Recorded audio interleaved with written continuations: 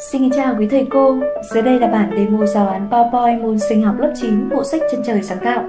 Bản PowerPoint này do các thầy cô của kênh giáo viên biên soạn. Như trên màn hình giáo án PowerPoint hay còn gọi là giáo án trình chiếu, giáo án điện tử. Xin kính mời quý thầy cô cùng tham khảo.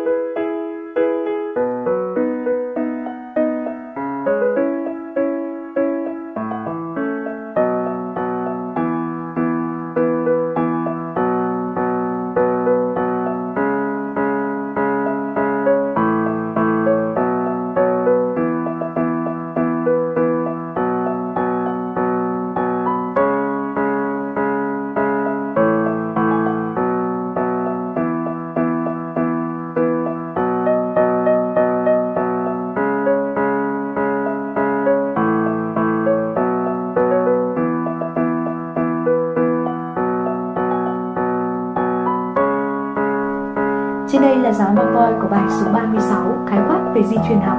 Những bài còn lại trong chương trình môn sinh học lớp 9 bộ sách chân trời sáng tạo đều được chọn chi tiết và đầy đủ theo mẫu như trên. Với tiêu chí hiện đại và đẹp mắt, nhất định giáo án sẽ tạo được sự hứng thú học tập cho học sinh. Để soạn được giáo án PowerPoint này, nhóm giáo viên phải mất khá nhiều thời gian và công sức, do vậy giáo án có mất phí. Ngoài ra, chúng tôi có đầy đủ giáo án PowerPoint các môn lớp 9 của những bộ sách kết nối tri thức, chân trời sáng tạo và cánh diều. Nếu quý thầy cô quan tâm, vui lòng liên hệ theo số Zalo trên màn hình hoặc truy cập vào website kênh giáo viên.com.